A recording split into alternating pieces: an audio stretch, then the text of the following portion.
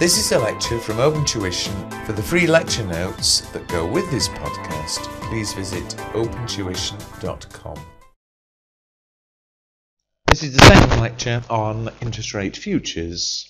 Uh, it's chapter 20 of the paper P4 course note. And in the first lecture, which I hope you've listened to, I explained a bit about what the futures actually were.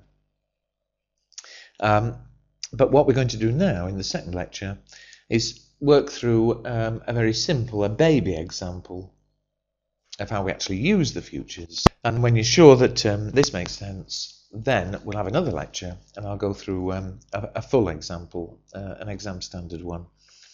So the baby example I'm going to do is on page 118 of the course notes. Uh, and it's example 3.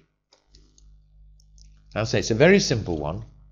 There are, uh, there are some more practical problems which we'll deal with later, but let's have a look at example 3. Uh, it says today is the 3rd of October and interest rates are 8% per annum. We want to borrow 6 million for 6 months, but the loans are going to actually start on the 1st of January. And we're going to make use of futures. There are three month January futures available at 92. Well, let's go through bit by bit. First of all, let's do the bit I always do first, um, what I call a reference point.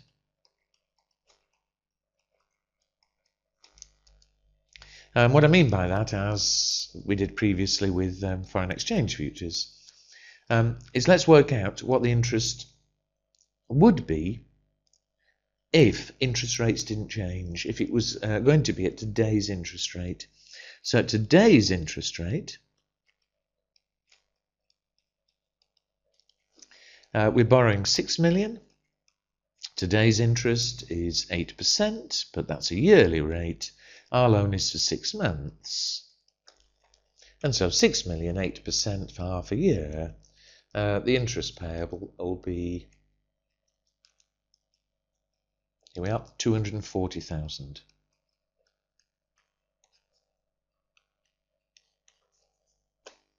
However, that is only a reference point because, of course, the loan's not actually going to start until 1st of January, and by then, interest rates could have changed to anything. So, what are we going to do? Well, as of today, which is the 3rd of October,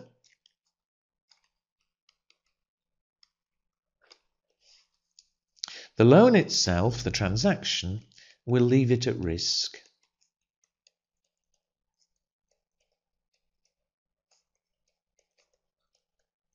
So on the loan itself, we won't actually do anything.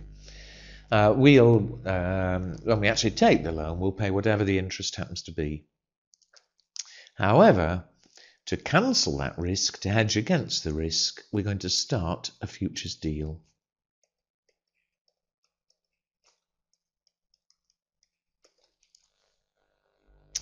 And what futures deal are we going to have? Now, it says there are three month January futures available. Um, but, as I've already explained, two things here. First of all, a January future. The only relevance of uh, the word January is that any futures deal must finish by the end of January. Well, we're going to finish the deal on the 1st of January when the loan starts, so a January future is fine. Uh, and the price, today's price, it's quoted at 92. Uh, secondly, remember, we can either buy futures today and sell them later, or we can sell futures and buy later. What are we going to do here? Are we going to buy or are we going to sell? Well, think this through. Remember, we are borrowing money. And what's worrying me is that the interest rate, although at the moment it's 8%, what worries me is that the interest rate will go up and we'll end up paying out more interest. And so the money we lose there, we want to make a compensating profit on our futures. But what's going to happen to the futures price if the interest rate goes up? If the interest rate went up to, I'm making up a figure obviously, but if it went up to let's say 9% and we pay more on the loan, the futures price, remember, would go down. In a perfect world, 100 minus 9, the futures price would go down to 91.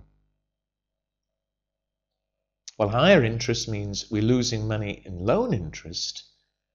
We want to make a profit on the futures, and how can we make a profit? If the current price is 92, how can we make a profit if the futures price were to fall? Well, the way we'd make a profit is surely we'd sell futures. Because if you sell futures at today's price of 92, buy them back later, and if the price is lower, you buy at a lower price, sell at a higher price, we make our profit. And in fact, if you're borrowing money,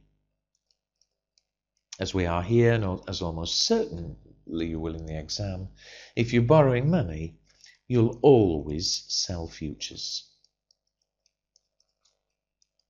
By all means, learn that as a rule, but see why. It's awful just to learn a rule without any logic.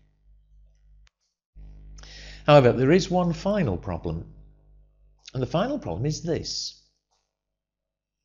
We are borrowing six million. We're at risk on the interest on the six million.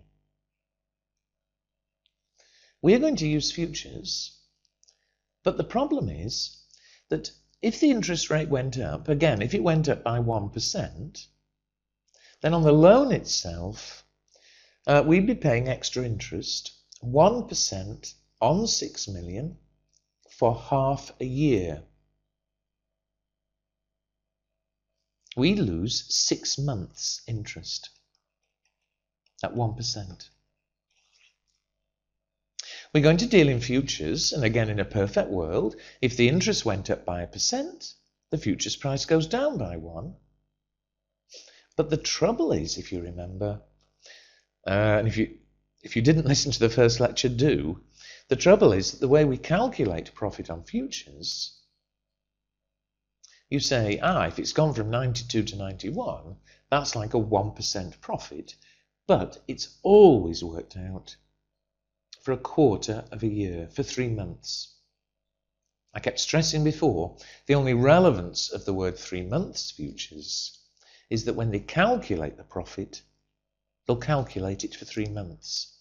And so, a change in the futures price of one, that would, the actual profit we'll get will only be three months at 1%. And of course, it's not going to balance. We want the profit to cancel out the extra interest. But the extra interest is six months because the loan is six months. The profit on the futures would only be for three months because they're three month futures. So, how are we going to deal with it? Well, the way we deal with it is this we say the amount of the deal. Well, the loan itself is 6 million. But given that futures will only give us three months um, interest, and yet the loan itself is six months, what we'll do is we'll deal in the futures, we'll deal twice as much. We'll multiply by 6 over 3, 12 million. And you see, 12 million.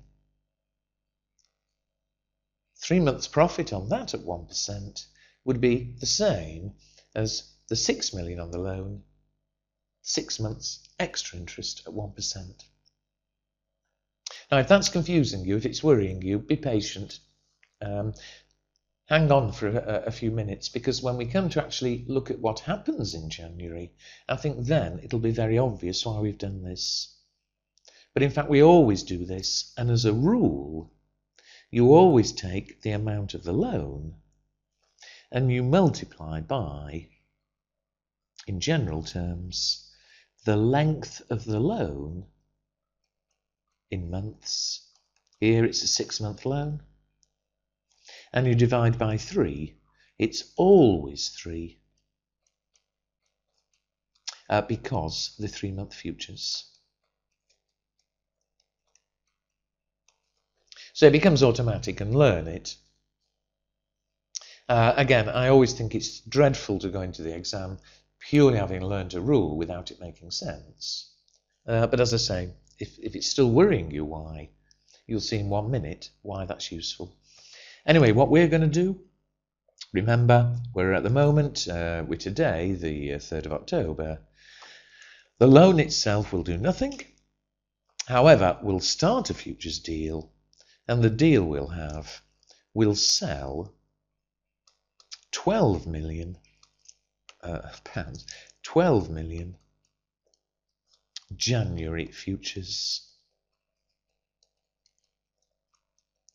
at uh, today's price 92. And remember, apart from the fact we have to pay a deposit, a margin, which in the numbers we actually ignore, uh, apart from that, though, there's no um, cash changed hands or anything. That was effectively a phone call. We've sold 12 million futures. Later, we're going to have to close the deal and buy them. And at that stage, we'll work out any profit or loss. We then sit and wait until the start of the loan, uh, which in this question is the 1st of January. And of course, it's only on the 1st of January that we'll actually find out what the actual interest rate is. Now, of course, it could be anything. But if you look back at the question, it says assume that on the 1st of January, the interest rate has changed to 10%.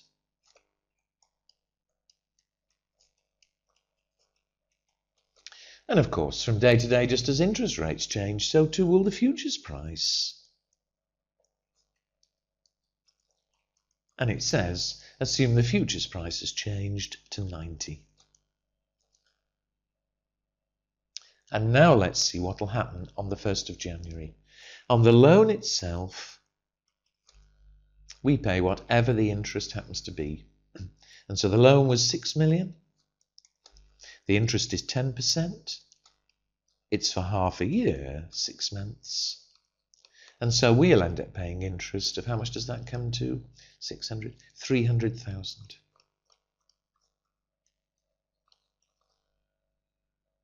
On the same day, though, we'll finish our futures deal. Remember, we started by selling the futures. And so to finish the deal, we'll now buy them. And we'll calculate our profit or loss on futures.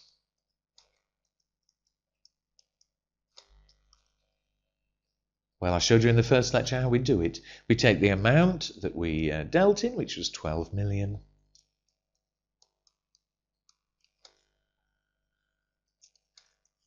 And to get the profit, we take the difference between the sell and the buy price. Well, we started by selling futures when the price was 92.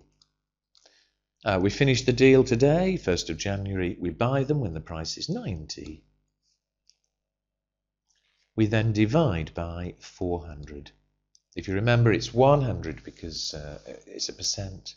It's 4 because we're doing it for three months or a quarter of a year. But it's always divide by 400. So, how much profit do we actually make? Uh, sorry, it is a profit, I hope, clearly. Uh, 92 minus 90 is 2, divided by 400 on 12 million. The profit is 60,000. And so, although it's two separate things, obviously, uh, the net result is 240. And surely for this particular example, we've ended up with a perfect hedge. And that at today's interest rate of 8%, the interest would have been 240. The actual interest rate was higher, it was 10. So on the loan itself, we were paying an extra 60. But the futures, they gave us a compensating profit of 60. And so here it is a perfect hedge. Now, of course, in real life it won't be. It's the same reasons as before. I'll write them down in a moment. But now, for a moment, just pause and see why we needed to deal in 12 million. On the loan, we took half a year's interest, six months' interest. But the profit on futures, we're only getting three months' profit. And so, we multiplied by length of the loan over three um, by gambling, by dealing in twice as much in 12 million, uh, the profit exactly compensated for the extra interest. But as I say, this was a perfect hedge. In practice, it's not going to be a perfect hedge. And the two reasons are exactly the same as with um, currency futures. Uh, firstly, there are fixed size contracts. We'll deal with that um, in a fuller example in the next lecture.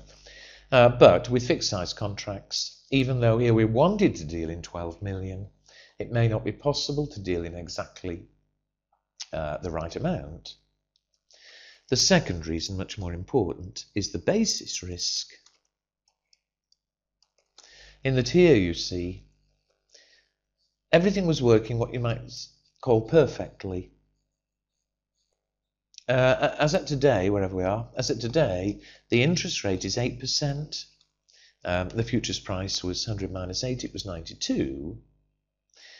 By the start of the loan, interest had changed to 10 by 2%, and the futures price had changed by 2 to 90. Well, in real life, the futures price will change as the interest rate changes, but it, it, it won't be perfect. That um, the problem will be that the change in the futures price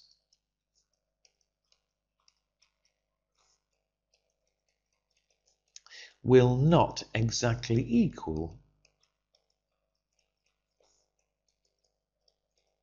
the change in the interest rate. And hope clearly, if the two hadn't been exactly equal, then it wouldn't have um, hedged precisely, it wouldn't have been a perfect hedge. Now, I hope that made sense and explains how we are going to actually use the futures. Um, we'll pause there, but in the next lecture, um, we'll turn it into a full uh, exam standard example with all the complications in it.